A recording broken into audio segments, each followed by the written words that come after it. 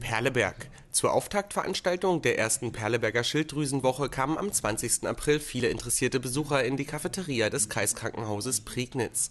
Neben dem Chefarzt der Klinik für Allgemein -, Viszeral - und Gefäßchirurgie Dr. Adam Ballock referierte auch Christian Berndt, Facharzt für Allgemein - und Sportmedizin aus Wittenberge. Weltweit leidet jeder dritte Mensch an einer kranken Schilddrüse